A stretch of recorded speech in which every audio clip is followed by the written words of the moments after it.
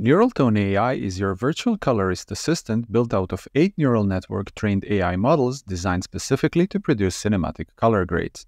For every image processed through NeuralToneAI, Film AI will offer eight color grading suggestions based on the context of your image.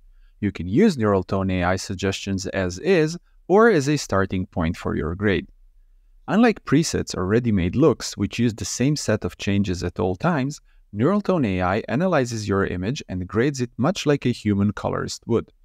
Every NeuralToneAI model has its own unique style and preference, so you'll most likely find a few grades that fit your creative direction, whatever that might be. To use NeuralToneAI, you must be on the Pro plan of Film AI. NeuralToneAI can be added to your images as a tool, or it can be invoked from the contextual menu under the Media tab on the right-hand side of the app. As these two options differ slightly in their functionality, we'll cover them both. To add NeuralToneAI as a tool to your image, simply click on the NeuralToneAI option in the Controls tab on the left-hand side of the app.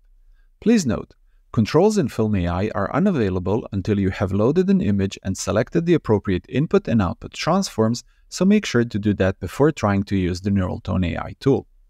Immediately after adding the tool, NeuralToneAI will begin analyzing your image and will offer its suggestions as thumbnails as soon as the analysis is complete. You can manually resize the thumbnail column for a better preview, and you can also collapse the previous column once you have selected a look for unobstructed view of your image. Once the analysis is complete and NeuralToneAI has created the color grading suggestions, these suggestions are saved in the app so that they are instantly available next time you load the image. If you save a NeuralToneAI grade as a candidate and use that candidate to copy the grade over to another image, the very same grade will be copied over without further analysis of the second image. If you wish to analyze the second image and have NeuralToneAI create new grades based on the context of that image, please click on the Regenerate button in the NeuralToneAI tool. If you change the position of the NeuralToneAI tool in relation to the other tools, fylm.ai will not recalculate the results in the new position. To recalculate the results in the new position, click on the Regenerate button. You can change various parameters within the NeuralToneAI tool for more flexibility and faster workflow.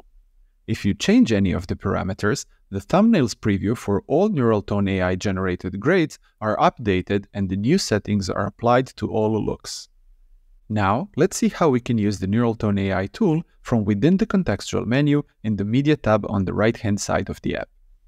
To use the NeuralToneAI, click on the three dots next to your asset, select NeuralToneAI option, and pick the AI model you wish to use for processing your image. Your image will be processed using the pre-selected AI model, however, NeuralToneAI will still calculate the rest of the results should you wish to use any one of them at a later stage. Typically, you would use this option once you've established that you like a particular AI model and you want to batch process multiple assets using that specific model. To batch process multiple assets, select the first asset in the list. Then click and hold the Shift key on your keyboard and click on the last asset in the list that you wish to process. With several assets now selected, click on the three dots next to any one of the selected assets and use the NeuralToneAI option. fylm.ai will batch process all of the selected assets using the chosen AI model. From here, it's advisable to use the Compare view to see how your newly created grades look like. With multiple assets still selected, click on the three dots next to any one of the selected assets and select Compare view. This will allow you to evaluate your color grades. If you're happy with the results, we suggest saving your newly created grades as candidates. This will make sure your grades are safely stored. However, you don't have to do it manually for every graded asset. Instead, with multiple assets still selected, click on the contextual menu next to any one of the selected assets and select the Save as a Candidate option. This will batch save all your grades as candidates. At this point, you might want to export your grades as LUTs, XMP profiles, or Capture One styles. If you're a still photographer, you will probably want to save a high-resolution version of your graded images. Now that we have covered the basics of using NeuralToneAI, let's see a slightly different approach to how we can use NeuralToneAI to establish the look for our shoot. I'll begin by using the NeuralToneAI to establish the base for my grade.